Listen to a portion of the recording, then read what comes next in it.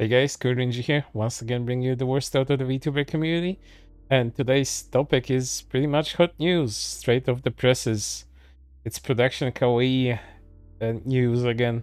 I don't usually do this type of news related content, but if the news involves something dramatic, let's say doxing, like th in this case, then I'm all over that since this is, this is normal VTuber agency news, but without further ado, let's get right into it. Production Kawaii official important announcement regarding violation of privacy of our VTuber. Thank you for your continuous support of our of us and our belonging VTubers. Currently, some people are violating the privacy and safety of I Isla Coleman by attempting to obtain and disclose her personal information such as her name, address, etc. Isla feels threatened by uh, and deeply hurt. We are providing emotional care and support to Isla, but we determine that we cannot ensure her safety and security. We have no choice but to stop her activities. Violating her privacy and safety of others is unacceptable. We strongly condemn such acts and would uh, take strict response. In addition, as a result of discussions with the lawyer, we have decided to take both criminal and civil legal actions. We'll continue to provide an, uh, a safe and secure work environment to our VTubers and would like to continue to create and distribute content that you can enjoy. We appreciate your continuous understanding and cooperation. Aloy Incorporated Kyosuke Kinoshita, CEO. And with that statement, Isla Coleman also had a statement of her own to, to make that clarified a lot of the news that were related by Production Kawaii's official Twitter. Regarding the statement,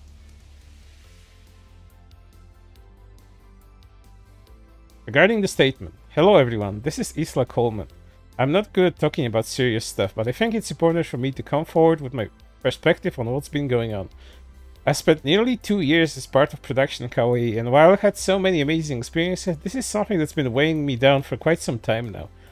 I may not say it often, but I do care about my fans. I've opened up to you and talked about so many things. I have expected my feelings to be respected, but to know some of these people who have called themselves my fans have pri pried into my personal business, ignoring boundaries that have been clearly established, and causing problems for me and people I care about, is a breach of the very trust I've placed in them.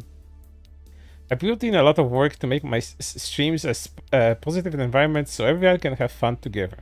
But dealing with this invasion of my right to privacy has made it difficult for me to keep smiling through it, even when I have so many things to be happy and excited about. I want my community to be safe and a place for all of you to be in, as well as for me to interact with. As a creator, I'm entitled to my personal life and there are things that I'm not obligated to share while I am in Kawaii. I'm very disappointed that these Call Knights, those whose names contributions I remember from my chat and community, have been sharing my personal information like it's a trophy to be proud of, when in reality it has greatly impacted my mental well-being.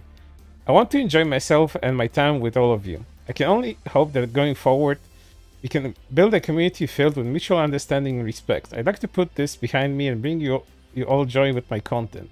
And I hope you understand the measures I'll be taking to ensure I and my audience can feel safe and happy. Following that statement, Nene Amano from Production Kawaii also made her own. Please respect VTubers' privacy and safety and do not de delve into their personal information. These kinds of actions are extremely scary and demotivating to the talent. Keep it to, uh, to enjoying them as streamers and entertainers. No reason to dive deeper than that. Please give Isla the love and support she deserves. And of course, this uh, pretty much be the end of the story if I didn't dig, dig uh, a bit deeper than that. But there are some people claiming that no, who these doxers actually are. Uh, apart from the fact that Isla mentioned that they were part of an, her fan base uh, as Call Knights, uh, 4chan's official VT thread on Production Kawaii PKG has a, a few um, anons talking about it, as I even making this video right now. But some of them claim to have, have uh, known the doxers. Well, let's take a look at their statements as well. I've known this has been going on for a while, Kekvu. I, I know the cul culprit, uh, cul culprit. No, but I know three of the culprits. Discord T-slurs? Yes, they are part of a Doxan called and, and generate free free traders. To be accurate, the recovery uh, FAG tourists from the general threads joined the Discord to spy slash collect in info and, and they want to went to Twitter. This is why I stay away from Discord. This is why I left Discord LMAO. I li literally got dogs from the unofficial Discord and threatened because of, of Dogsand BS. And then same dude uh, blamed me for Generation 3 grad Kekwoon. They get get some major schizo fucks there, LMAO.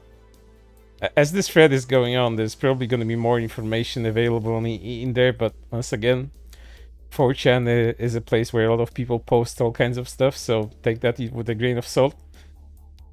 But believing uh, that Discord doxing factories do exist, because yeah, there are people like that that uh, basically collude in order to get on people's cases. I've seen Discord like that before.